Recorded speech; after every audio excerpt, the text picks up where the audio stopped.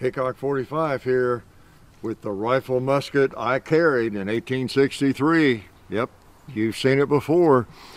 It is an Enfield. This is a two-band Enfield and uh, I think sometimes referred to as the naval model, or at least the there was a naval model in this configuration. Might have had some other uh, attachments, don't know, but it was used in the Civil War, and uh, not extensively like the three-band model, uh, but it was it was used uh, to some extent. I've read I've read arguments on both sides of that, but it's a really handy length, and uh, it is 58 caliber. Need I tell you?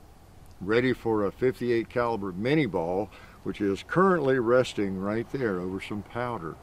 All it's asking for is what? You're right, some fire. All right, so let's put some fire on it and shoot it. You want to? This is an anniversary. Yeah, I should have baked a cake. I've had this now 25 years. Can you believe that? 25 years since I bought this.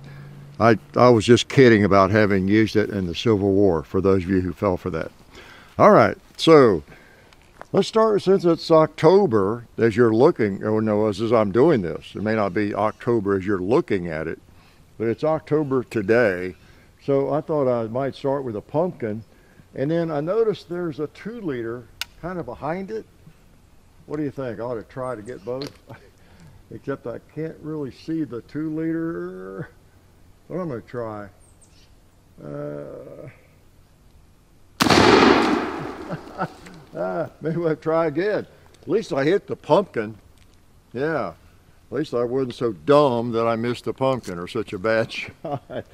Oh yeah, this is a neat. Uh, here's a replica. That was that was again. I was joking. I'm sorry. So many of you went to Google very very quickly just to see which side I fought on. Right?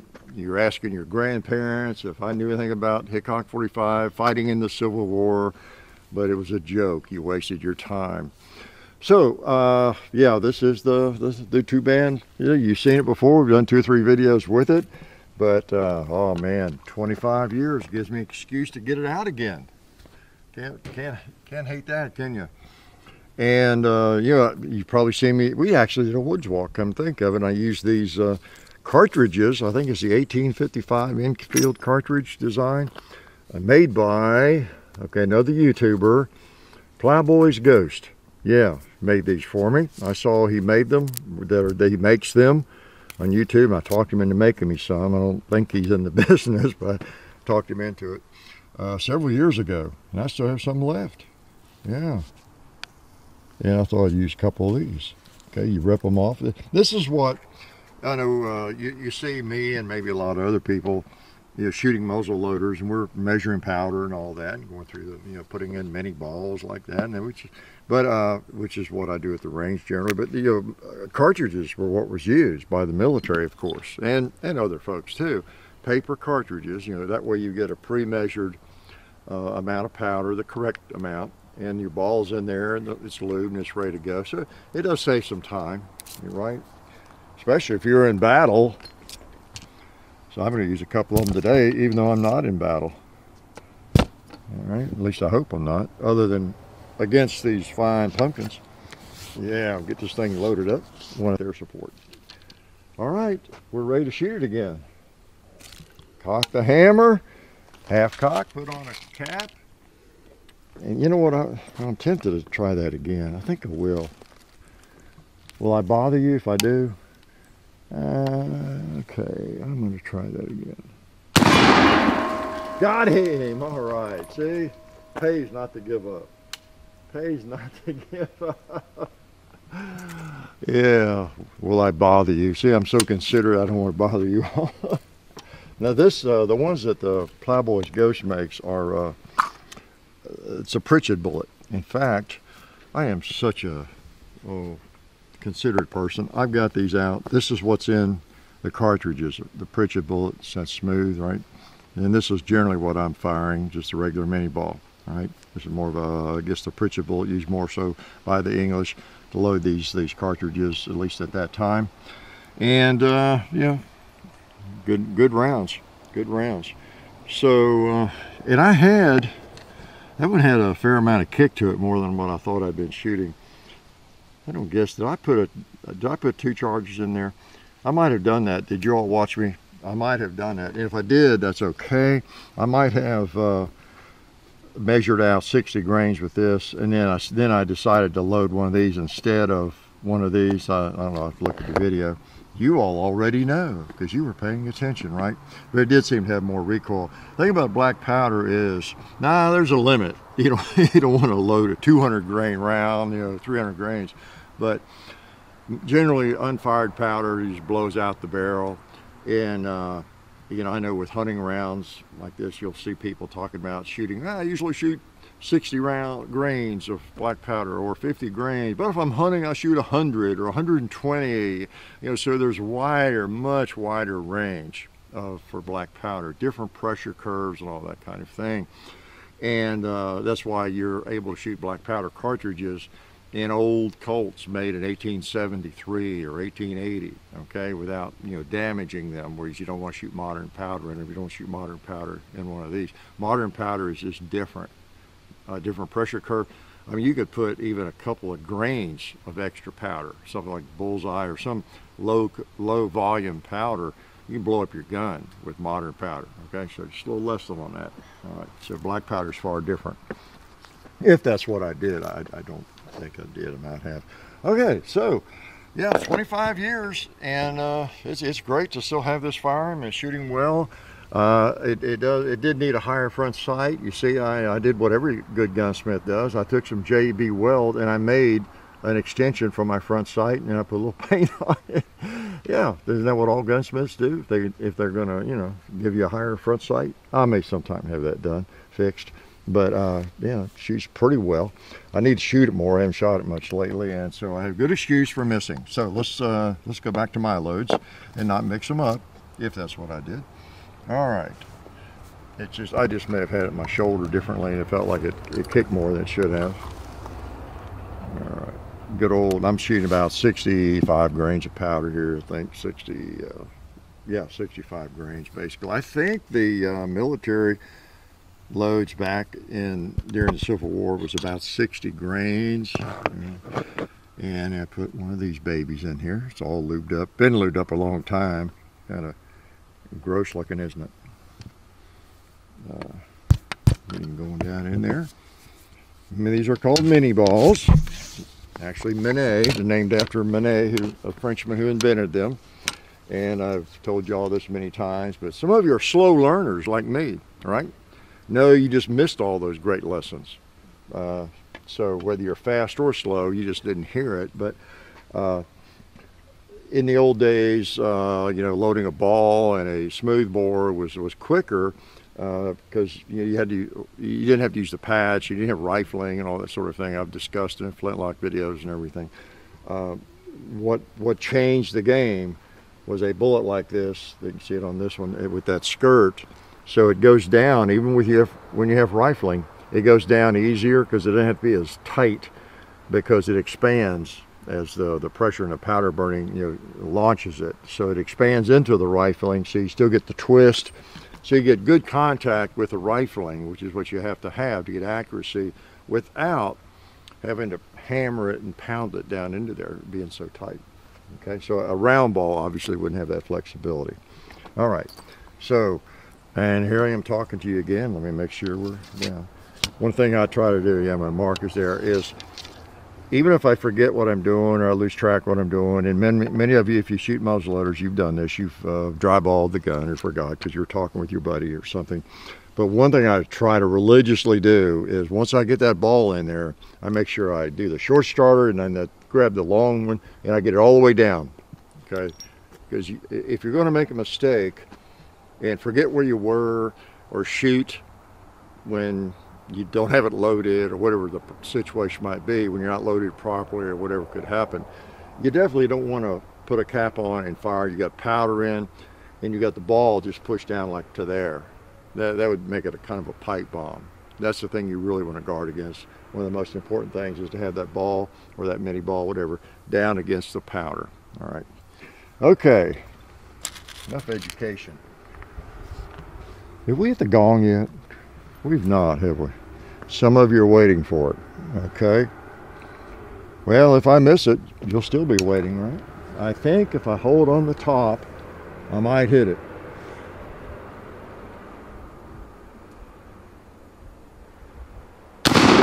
All right. That's what I want to hear.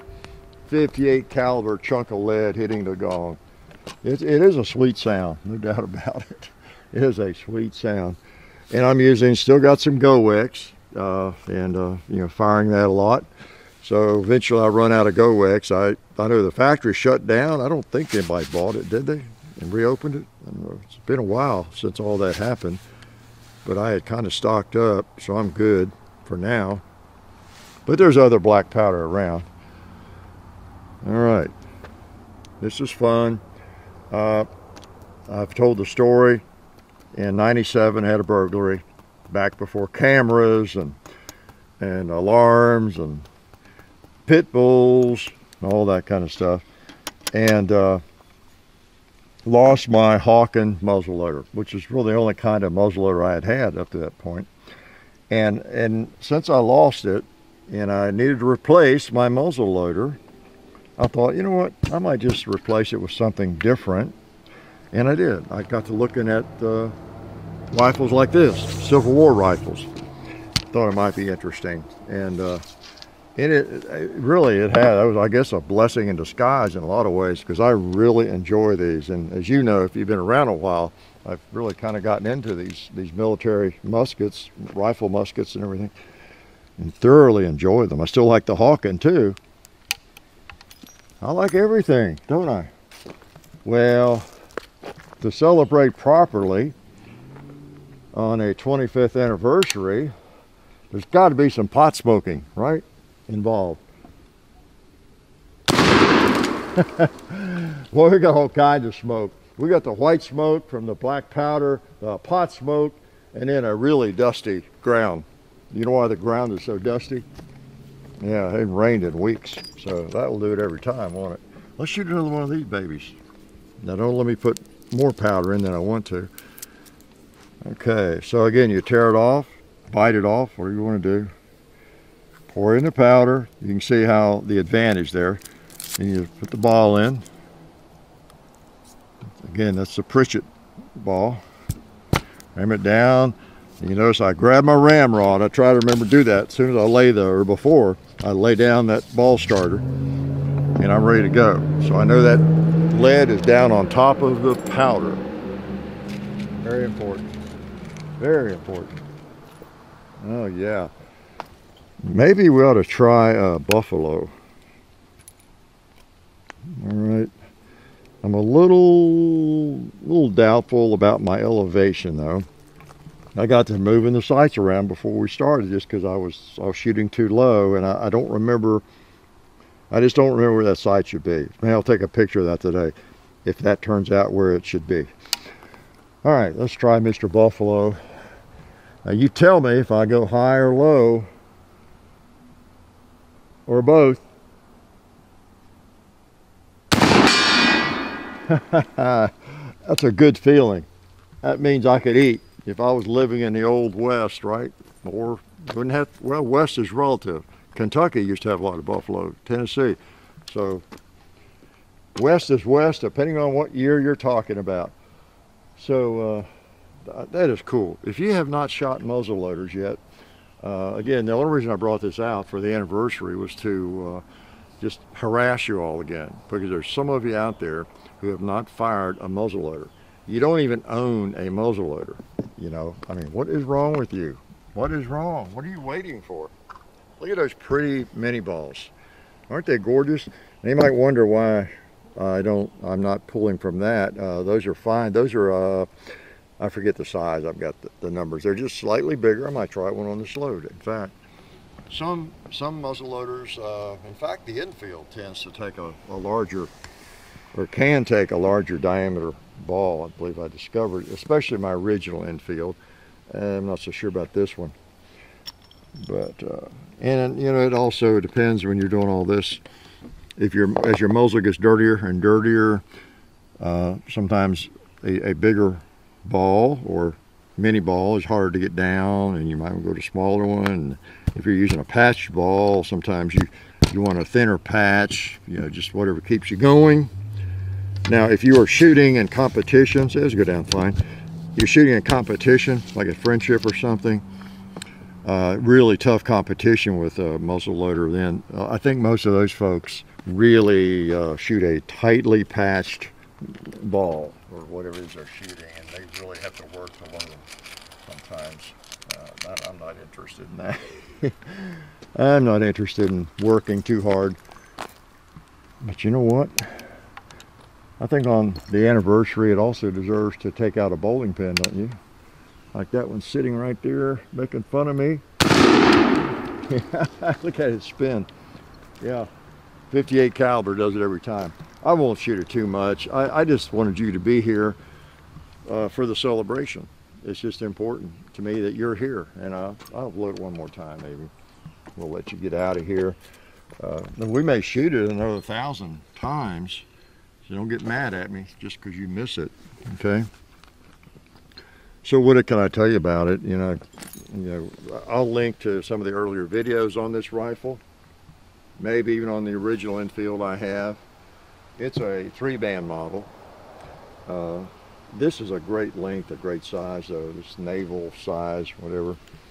Uh, and you know, it's kind of was the trend when all militaries realized that uh, a lot of the the rifles, military rifles, didn't need to be as long as they were. But now there's also some advantages to that. Let's shoot another one of those. Uh, the uh, you know if you're in hand-to-hand -hand combat a lot, I guess that considered hand-to-hand. -hand. You got a bayonet on your rifle. At least with a big long three-band rifle, you'd have a long toad sticker, wouldn't you? And uh, be hard for anybody to get close to you, except with their big long toad sticker. So you would not want a shorter toad sticker than, they, than the enemy has maybe. Uh, I wouldn't want to be out there with a toad sticker, I tell you. All right. If I just shoot one more time, what is it you would like me to shoot? Uh, this pumpkin again?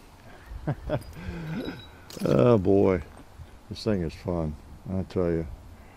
I'm tempted to shoot that, that pumpkin again, but uh, oh, I know what. There's a cinder block down there. Whoa, almost forgot. Let's put one on him. Mr. Cinder Block. Perfect. Perfect to wrap up on. Now what if I miss it? I think I forgot to put my ears in a couple of times. This big old bore doesn't really hurt you too much.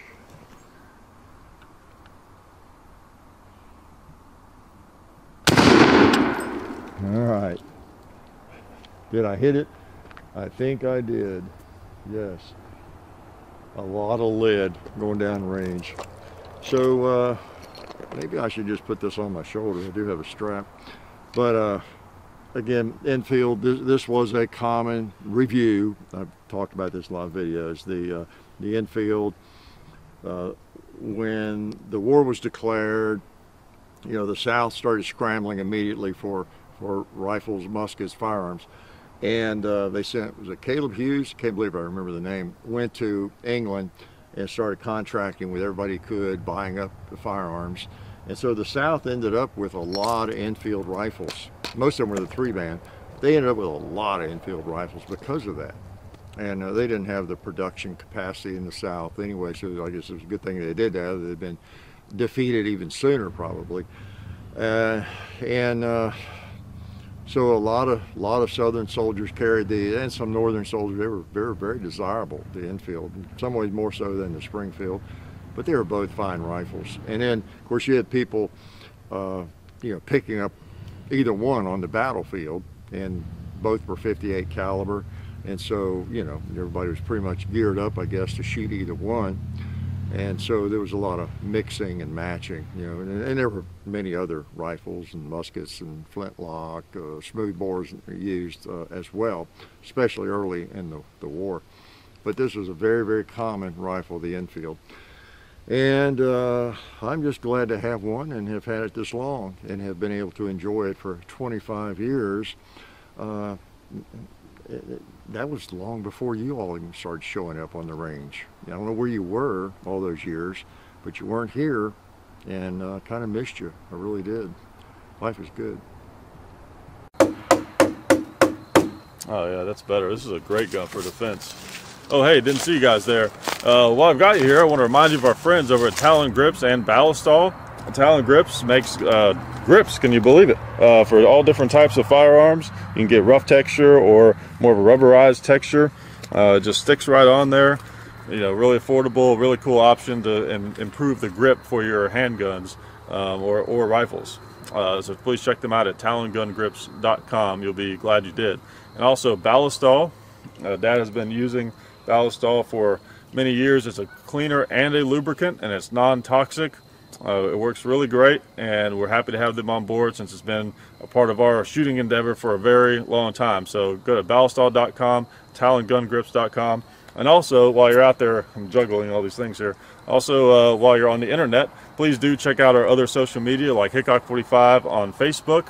There's also Hickok45 on Twitter, the real Hickok45 on Instagram. There's a John underscore Hickok45 on Instagram where I do some things. There's Hickok45.com. Uh, you can find us also on Gunstreamer. So check out all that stuff and then watch more videos.